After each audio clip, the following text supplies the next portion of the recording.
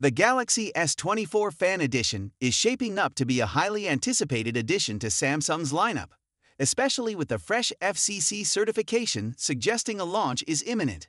The fact that it will offer many of the same high end features as the Galaxy S24 and S24 Plus, like 5G, Bluetooth 5.3, NFC, and Wi Fi 6E, indicates that this fan edition is likely to be a strong competitor in the mid range market.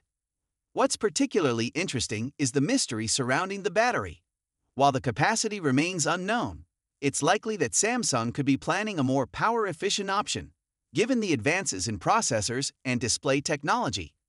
This could address one of the biggest pain points for consumers battery life, making the Fan Edition even more attractive. If Samsung can strike the right balance between premium features and price, the Galaxy S24 Fan Edition might just become the go to choice for people who want flagship like performance without the flagship price tag.